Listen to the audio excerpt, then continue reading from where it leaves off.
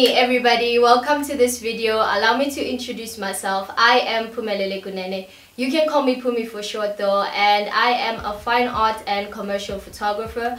I also do some TV and film production and I'm basically here to give you some of the knowledge and industry experience that I've gained throughout the years to help you up that photo and that video game. If that's that kind of stuff you're interested in doing of course. So please do subscribe to my brand new channel. And don't forget to hit the notifications button so that you can get alerts every time I upload a brand new video. And you do also follow me on Instagram at still.imagery so you can see all my visual content. So yeah, let's just get into this very first tutorial. I wanted to deal with something that relates to everybody and that's something that everybody seems to do, a photo that everybody takes and that is of course your selfie. So I want to help you guys look absolutely snazzy with those photos and learn how to take them like a pro. So let's get right into it.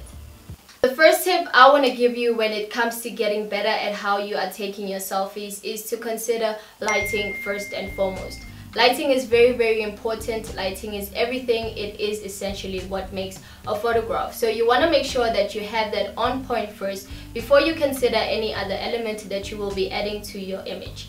So generally when we are taking selfies, we are dealing with natural light which is the best uh, light source because it's more convenient and available all the time. So tricks that I want to give you when you are working with natural light is I want you to move closer to a window or close to a sliding door because what happens is you are diffusing the light that is coming in and then it becomes very soft and even which is very very flattering for selfies and portraits. And another thing I want you to consider is when exactly is the right time of day to uh, get that natural light at its best. That is essentially during golden hour. And what is golden hour? That is an hour before or an hour after sunrise and sunset. That is when natural light is at its best. You will get the best colors and the best shadows. So you ideally want to be working more with that light. It will be very, very flattering for your image.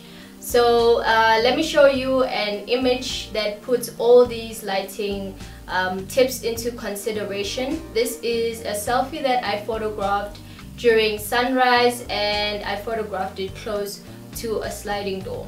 So this is essentially the kind of lighting that you will achieve when you are using these tricks that I am giving you.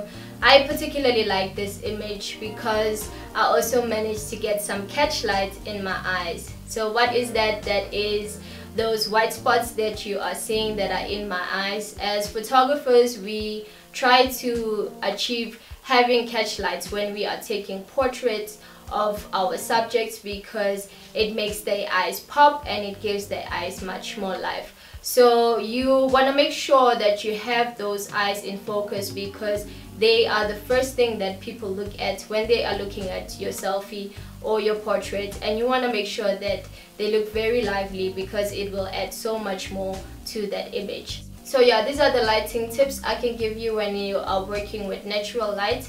So use them, see how it will level up your selfie game. Another thing is I want you to work with your angles. Angles can help you achieve different looks.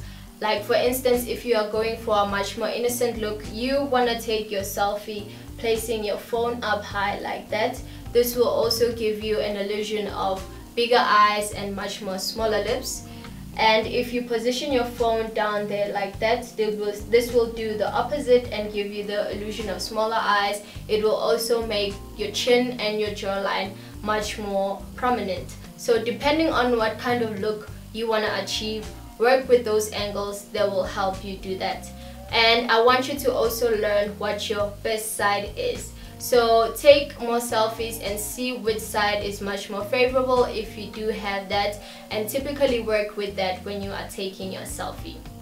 Tip number three is as I want you guys to get creative. So add certain things to the picture that you feel like will complement the style that you are looking for. I want you to also pay careful attention to the background. What is it adding or taking away from the selfie? For instance, with this selfie where I found a really really cool background which had colors that were similar to my outfit and my hair and this made everything blend well together. I also looked away from the camera when I was taking that selfie which gave me an illusion of a candid shot. If you are working with things like mirrors, try and see if you can keep that shot tight so that you can keep us guessing in terms of how exactly is that reflection made. So yes, use various things and get as creative as possible. The very last tip I want to give is regards to group selfies. If you are taking a selfie with other people, try and scatter the subjects all over so that you create different points of interest within the image. If you are placing your subjects in a line, try and use leading lines to direct the eyes of the viewer. Like in this image, which can be read from the bottom left to the top right or vice versa because the line that is directing the eyes of the viewer and giving different points of interest. And another thing to remember about these cell phone cameras is that the lenses they widen the stuff on the edges. That is why when you are taking a picture with someone else and you put them at the edges sometimes they might appear a bit more wide. That is the effect from the lens so what you want to do is you want to uh, position your subjects and angle your camera in such a way that you avoid too much distortion and that doesn't show in the selfie. So just try and remember that the next time you are taking group selfies. So yeah that's about it from me. I hope you remember to use these tips the next time you are taking those selfies. And if this video did anything for you please do remember to like and to subscribe to the channel so that you can see the other videos that I'll be dropping very soon. It was really really fun. Thank you for joining me. That's about it for now. So yeah, peace.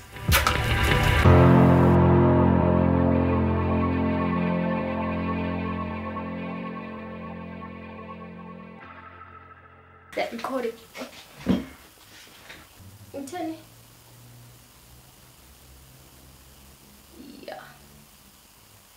So yeah. I can't remember where I stopped. Okay. I have a lot on my mind. And I'll see you on the next one. Stop it!